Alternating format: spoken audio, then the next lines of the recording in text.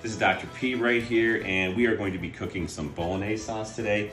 Um, what's interesting is this recipe calls for bone marrow.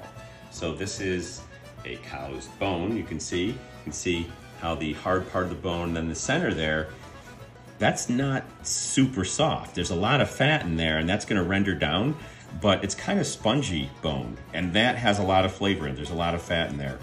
Um, kind of analogous to the tibia, the shin bone. So when people get stress or microfracturing in the bone, the cartilage wears down, more and more stress gets transmitted to this kind of spongy bone underneath and it starts to break down faster and the body can heal itself and you get these little stress or microfractures. That's why we take good bone marrow, inject it in, and try to get that um, bad bone marrow to kind of fill in.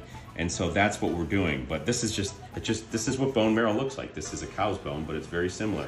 So this is gonna, when we cook it, I'll show it to you once we're done, it's gonna be more fatty and then it has a lot of flavor in it. We're gonna use it. Obviously, this is not the most healthy dish in the world, um, but every once in a while you can splurge and it is Mediterranean diet. So very rarely I will eat something like this and I'm going to make it and I'll show you what it's like, but that's what bone marrow looks like.